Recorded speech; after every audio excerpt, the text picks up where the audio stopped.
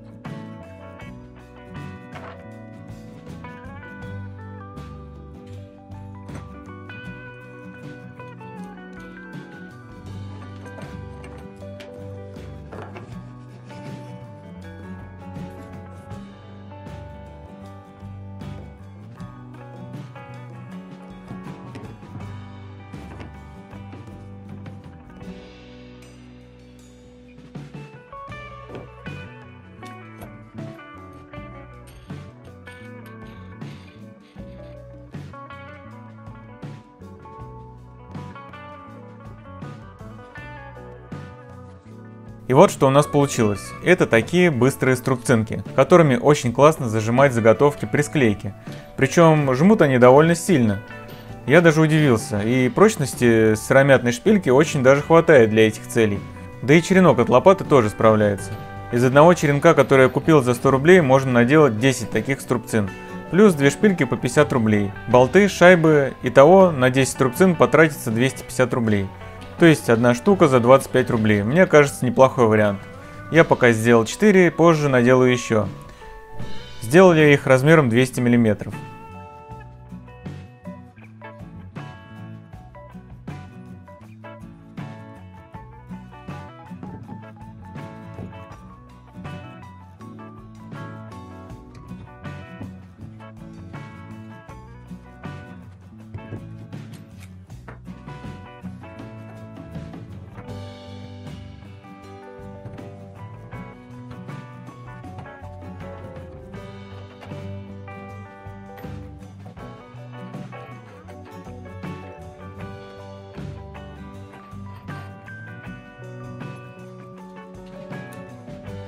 А сжимают они отлично даже несколько досок.